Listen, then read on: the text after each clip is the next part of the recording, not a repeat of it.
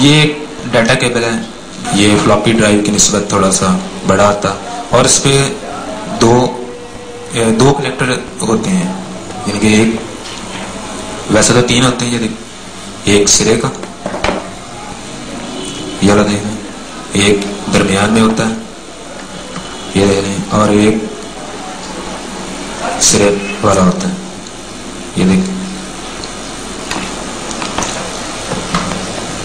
इसका भी एक कट, इसकी भी लगाने की ये निशानी कि इसको हार्ड ड्राइव डीवीडी रोम या सीडी रोम में कैसे लगाया जाता है, इसी कट की बदौलत ये इसमें फिट हो जाता है।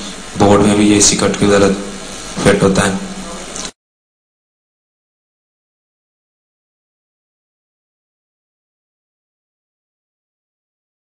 बोर्ड पर डाटा केबल के कनेक्टर को देखते हैं।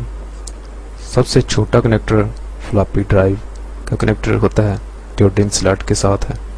इससे ऊपर वाला जो, यानी कि दरमियान वाला, ये आई डी ई वन है, ये हार्ड ड्राइव के लिए इस्तेमाल होता है। और वाइट है जो आई डी टू ये C D ROM D V D ROM या राइटर के लिए इस्तेमाल होता है।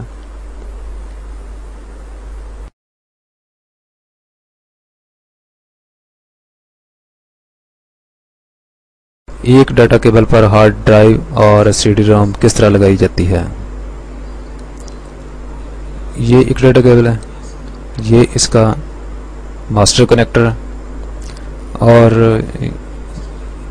ये दरमियान में ये सीट स्लेव के लिए। यहाँ पर हार्ड ड्राइव और और यहाँ पर सी डी रोम या डी रोम लगाने के लिए।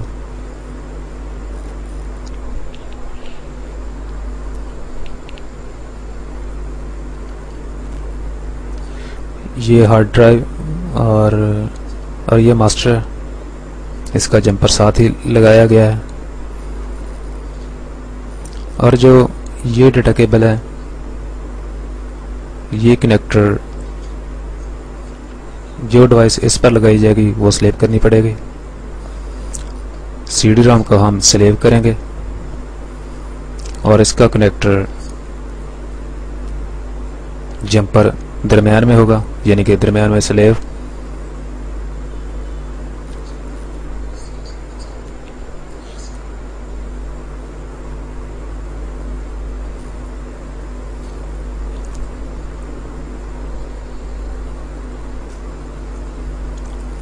ये मास्टर और ये स्लेव।